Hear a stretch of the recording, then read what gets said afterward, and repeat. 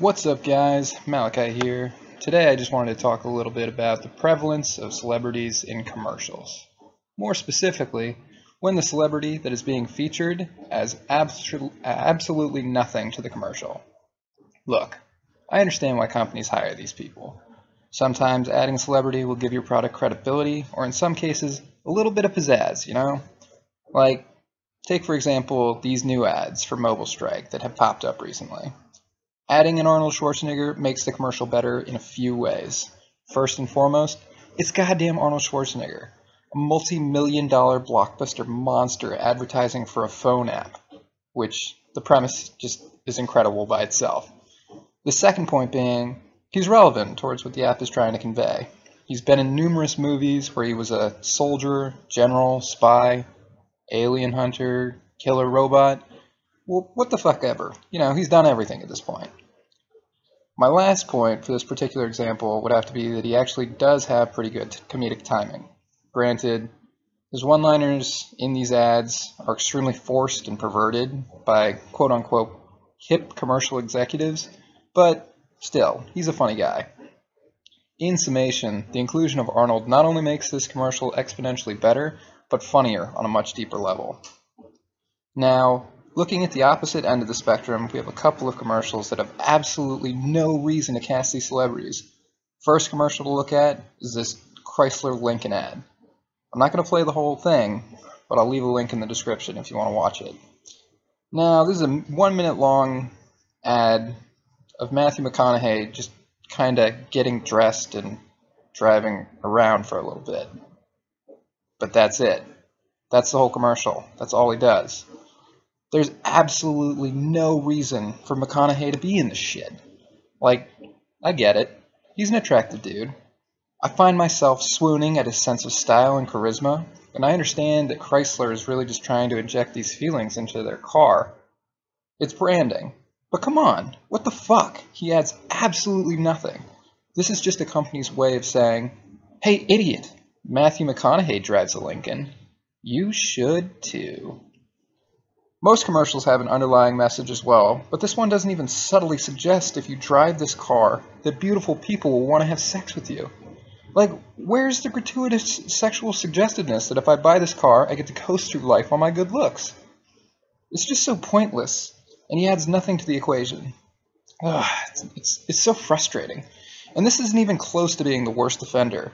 And this stupid little trend of celebrities adding nothing to the product has been around for fucking ever. Alright, let's look at another example. This time, nothing is actually being sold. Uh, Alright, so this is a commercial for political correctness. Got it. So, with this stupid fucking abomination of a TV spot, we have two girls that are shopping and looking at clothes. Because they're girls. Yet again, I'm not going to show the whole thing, but I will leave a link in the description. Anyways, one of the girls mentions that the outfit they're looking at is so gay, and they both shake their heads in unanimous fashion agreement. You can just see it on their faces, the pained look. This article of clothing that they're looking at is causing them mental distress just by being able to exist. And then we have the twist in the commercial. Hilary Duff has been in the store the whole time, just out of focus. And she does her civic duty by walking over and scolding them for the term they used to describe the article of clothing. Now here's the thing. Why did Ad Council, or whoever the fuck commissioned this waste of time commercial, decide on this somewhat popular, at the time, singer to convey the, their message of social justice? Now this this commercial is from 2010, so I guess it has a little bit more levity. What, but what credentials does Hilary have other than being pretty to tell other people what to say or do? She has absolutely no stake in this situation. Is she gay? Doesn't look like it. In fact, here's a list of people that Hilary Duff has dated. Oh, weird. There's no women on that list. So anyways, the commercial wraps up with uh, Hilary the hero telling one of these girls that she's basically a dipshit because she's wearing a skirt for a top. Boom! Roasted. Stupid fucking shopping teenager girl. So the moral of the story I guess, is to be more aware of your surroundings, because you might have an eavesdropping pop star with a self-righteous attitude in the same ramshackle, shitty little bargain bin store you shop at.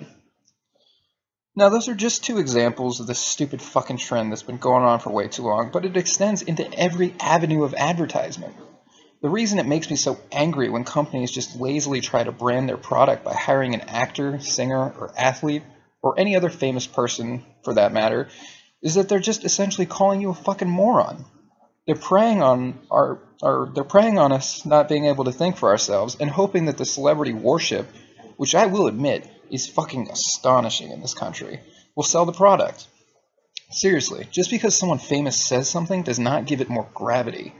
Like if a Kardashian were to tell people that it's cool to drink pesticide, I bet you we would lose like 20% of our population overnight.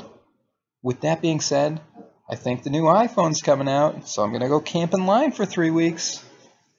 Alright guys, peace out.